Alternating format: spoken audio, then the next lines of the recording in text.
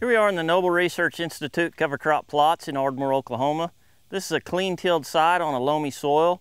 These plots were planted May 16th. We had a very heavy pigweed population in this field and we did not use any herbicide.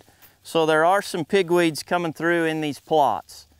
This plot is Egyptian wheat, which is not wheat. It's actually in the sorghum genus.